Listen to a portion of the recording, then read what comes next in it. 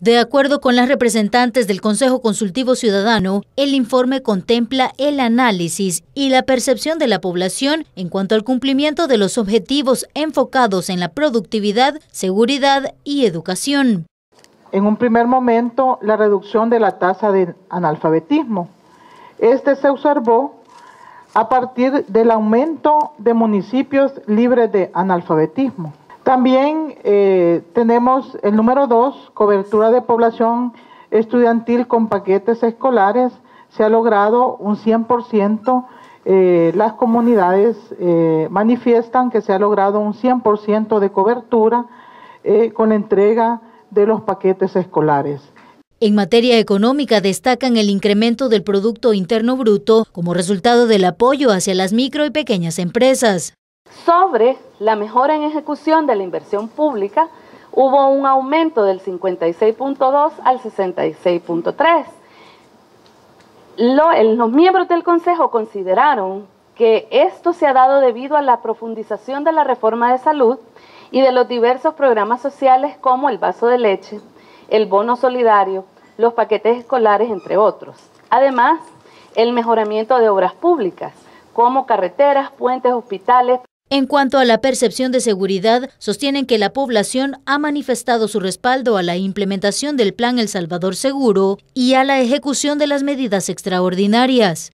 Específicamente, al utilizar nuevas tecnologías que han ayudado a la detección de los ilícitos, el bloqueo de la señal telefónica alrededor de los, centros penales y también la seguridad perimetral la depuración de custodios y empleados y también todo el proceso de formación que se inició para ellos. La tasa de hacinamiento en centros de privación de libertad, los datos demuestran que no hay avances sobre lo proyectado. Sin embargo, el Consejo identificó que la ampliación de los programas de rehabilitación, especialmente el, el modelo Yo Cambio, ha tenido resultados positivos así como la construcción de nuevos centros de centros penitenciarios y, y granjas también, y el esfuerzo del fortalecimiento de infraestructura. El Consejo también presentó recomendaciones para optimizar los resultados del plan quinquenal. Primero, profundizar y ampliar los incentivos que mejoren la dinamización de la economía local para que incida en la nacional incentivar la producción agropecuaria y el uso de las nuevas tecnologías que promuevan la protección del medio ambiente con enfoque de soberanía y seguridad alimentaria. Evaluar técnicamente el funcionamiento del paquete agrícola a fin de incorporar los resultados en las políticas agropecuarias. En todas las políticas públicas sectoriales incorporar el enfoque de la pobreza eh, multidimensional. Profundizar el desarrollo de iniciativas de producción de energía renovable y crear y ampliar la normativa de instrumentos necesarios para mejorar la recaudación de impuestos, evitar la evasión y la ilusión fiscal. Por otra parte, sugieren continuar con el modelo de la policía comunitaria, invertir y dar seguimiento en espacios recuperados y mantener las medidas extraordinarias. Dotar a la policía de recursos tecnológicos que aseguren mayor efectividad en la persecución del delito a todos los niveles, videovigilancia, drones, brazaletes, laboratorios especializados.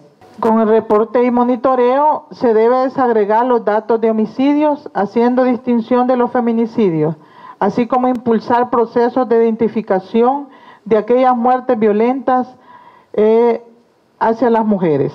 El informe completo fue entregado al presidente de la República, quien además de agradecer los aportes se comprometió a revisarlos e implementarlos. A nombre del Consejo de Ministros ampliado, quisiéramos felicitarles agradecerles, estimularles. Vamos a, como ya lo dije al principio, estas recomendaciones que son muy eh, atinadas porque provienen del sentir de la ciudadanía, vamos a, a estudiarlas, vamos a,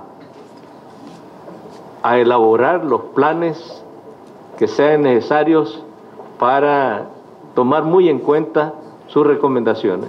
Que en dos meses vamos a revisar incluso como Secretaría de Participación, ya que la participación no es solo hablar, sino que es implementar, ver cuáles son las recomendaciones que se han tomado más en cuenta y cómo se están implementando las políticas públicas.